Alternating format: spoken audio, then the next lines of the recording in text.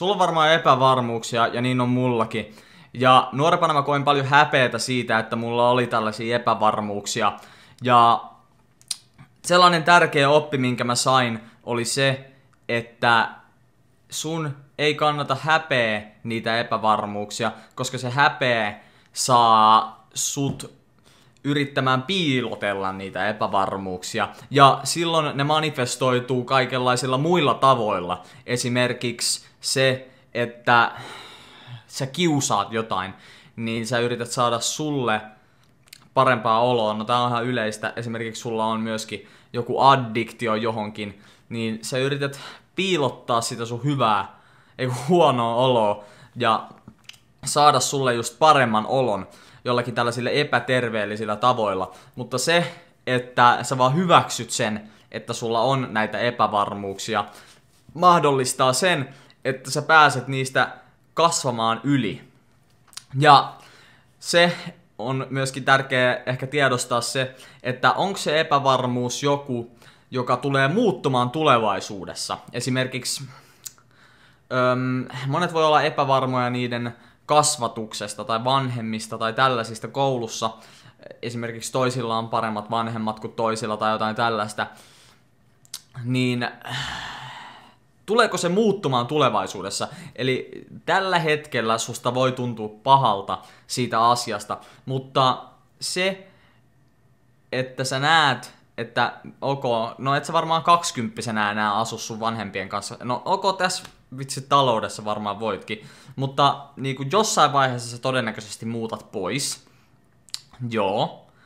Niin sun kannattaa tiedostaa, että okei, no nyt tässä hetkessä mä kahlaan täällä paskassa, mutta tää on vaan osa mun tarinaa ja se, että sä niinku näet sen, mihin tää voi mennä ja mihin tää tulee todennäköisesti menemään ja sä oot silleen, okei, no nyt mä oon vaan täällä. Ja monesti ihmiset, jotka just joutuu kokemaan jotain negatiivisia kokemuksia, niin se luo, niinku, se on niinku kaunista mun mielestä. Ja munkin omat negatiiviset kokemukset justiinsa oli sellaisia, joita mun oli pakko kokea, että mä oon ns. Mä en haluaisi olla missään muussa tilanteessa. Koska vaikka ne olikin siinä hetkessä huonoja, niin nyt jälkeenpäin ajatellen, niin ne muutti mun elämää sellaisella tavalla, joka mahdollisti tiettyjä toisia asioita. Et kun näin jälkeenpäin katsoo asioita, niin ei ne ollut loppujen lopuksi, vaikka ne olikin tietenkin negatiivisia kokemuksia ja ehkä niin kuin parempi tilanne olisi se, että kenenkään ei tarvitsisi kokea negatiivisia kokemuksia, mutta maailma ei ole sellaista. Maailma on tosi sotkunen paikka ja asioita vaan nyt tapahtuu ja joskus toisille niin kuin, tulee paremmat tilanteet ja toisille ei. Ja se, että sä, vaikka sulla on ollut ne huonommat lähtökohdat tai kokemukset tai jotain, niin silti sä oot päässyt ja matkannut sieltä pois, niin se on niinku sellainen, joka antaa sulle paljon paremman perspektiivin kuin joku, jolla ei olisi tällaisia. Ja esimerkiksi jos sun itse var- tai ne, tää epävarmuudet on jostain tällaisista ulkoisista tekijöistä vaikka, niin kannattaa tiedostaa se, että voit sä muuttaa niitä, voit sä muuttaa ne heti, voit sä muuttaa ne, mun niissä kestää aikaa, ja voit sä, tai etkö sä voi vaan muuttaa niitä. Ja jos sä et voi muuttaa niitä, niin se on erittäin tärkeä oppia niinku juhlimaan niitä. Esimerkiksi monet näyttelijät, joilla on niinku huonoja tällaisia ulkoisia piirteitä, niin ne ei edes yritä päästä sellaisiin rooleihin, jotka vaatii just jonkun sellaisen, tiedätkö, supermies niinku hahmon tai avatarin, joka on niinku täydellinen, vaan ne hakee sellaisiin rooleihin, jotka on vähän niinku tehty niille. Ja monesti tällaiset justiinsa niinku epävarmuudet, varsinkin ulkoisesti, niin voidaan kääntää positiiviseksi, koska ihmiset tulee aina huomioimaan sellaisia niinku, niinku, omituisia tai uniikkeja piirteitä toisissa. Ja nuorempana niitä koetaan paljon negatiivisena, mutta sitten kun päästään oikeaan maailmaan, niin monesti ne uniikit piirteet voikin olla sellaisia, mitkä kiinnittää ihmisten huomion. Ja jos sä elät siinä uskossa, että nämä sun uniikit piirteet on negatiivisia, ja sitten kun ihmiset tuleekin sanomaan niitä neutraalissa ja tällaisessa, jopa positiivisessa mielessä, että hei, sulla on tällainen juttu, niin sun aikaisempien kokemusten mukaan, kun ihmiset on uskotellut sulle sen, että nämä on huonoja ja sä oot uskonut sen, niin silloin sä tulet ottamaan ne myös samalla tavalla. Ja se on sellainen asia, mitä mä en halua, että sulle tapahtuu, vaan että sä tiedostat sen, että jotkut ihmiset on uskotellut sulle ja sä oot uskonut sen, että ne on huonoja asioita. Erilaisuus on huonoa. Ja se ei ole ollenkaan totta. Ja se, että sä tiedostat sen, että nämä asiat ei ole niinku ns. näin yksinkertaisia tai että ei ole mitään niinku täydellistä muottia. Tai jos sä oot vähän erilainen, niin musta tuntuu, että meissä kaikissa on jotain erilaisuuksia. Ja se on niin tärkeä, että sä et anna itses vähän niinku joutuu siihen uskoon. Se on sun vastuulla, että sä anna itses uskoutua siihen asiaan. Onko toi edes sana? Mutta ymmärrätte varmaan, mitä mä tarkoitan. Että sä, sä et an, saa joutua siihen uskoon, että ne on huonoja. Ja se on sun vastuulla ainoastaan. Koska sä voit ainoastaan vaikuttaa siihen, mitä sä otat sisään sun päähän. Valitettavasti kukaan muu ei voi vaikuttaa siihen. Jos mä voisin, niin mä yrittäisin kovasti.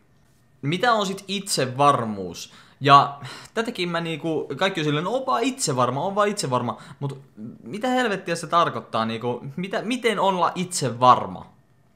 No, ehkä se on hyvin kuvastava se sana. Itsevarmuus, varmuus itsestä. Eli sä tiedät tosi hyvin, että kuka sä oot, mitä sä teet, mitä sä et aja takaa, mitkä sun periaatteet on sun elämässä. Eli jos joku sitten myöhemmin tulee sulle sanomaan, että hei, sä oot tällainen ja tällainen, niin sitten, koska sulla on niin hyvä varmuus susta itsestäs, niin sä tiedät kuka sä oot ja sä sanot, että ok, no en mä ookaan tollanen, että sä et vaikuta muhun. Ja se on esimerkiksi mitä mä tein, niin mä kirjoitin tosi paljon esimerkiksi mun omia periaatteita, minkä takana mä haluan seistä, niin kuin rehellisyys, autenttisuus ja vahvuus ja just tällaisia piirteitä, mitä mä haluan itsessäni tuoda esiin. Ja mä kirjoitin niitä ylös, ja mitä mä haluan esimerkiksi vuoden päästä tehdä, mitä mä haluan kolmen vuoden päästä tehdä, mitä mä haluan viiden vuoden päästä tehdä. Ja mä kirjoitin tosi paljon, niin kuin, se, sitä kutsutaan tällaiseksi, jos te haluatte googlaa, niin tällainen niin kuin personal mission statement englanniksi niin siinä on niinku raamit, mitä sä haluat kirjoittaa siitä, että mitä sä haluat saavuttaa, että mitkä on sun viisi tärkeintä arvoa elämässä. Ja nämä ähm, monen muunkin asian rinnalla ähm, auttoi mua tosi paljon luomaan sellaista vankkaa kuvaa itsestäni jonka mahdollisti just sen, että mä en ollut vähän niinku tuuliviirinä tuolla muiden mielipiteiden heiluteltavana. Musta tuntuu, että nykyään niinku haluttais siihen, että kukaan ei ns. Kouluissakin on paljon kampanjoita, että ei kiusata. Mutta mä mieluummin haluaisin, että ihmiset sen sijaan, että pyrkis estämään sitä, että mitään negatiivista tapahtuisi, niin mieluummin keskityttäisiin siihen, että silloin kun jotain negatiivista tulee tapahtumaan, niin me ollaan tarpeeksi vahvoja, että me pystytään päästä niistä asioista yli.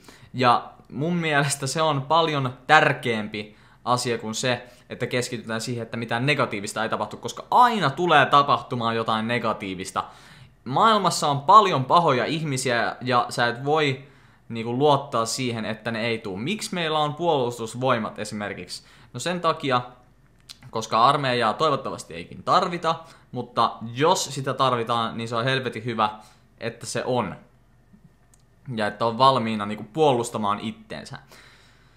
Niin, eli se on mun mielestä niinku tämän videon pointti, että ihmiset ja sinä niinku ymmärrät sen, että se on erittäin paljon sun vastuulla, että sä ajattelet tai niinku otat, mitä, mitä sä otat sun päähän sisään ja minkälaisen NS-rakenteen sä luot sun päähän sisälle. Koska maailma on vähän niin kuin aika kaoottinen paikka.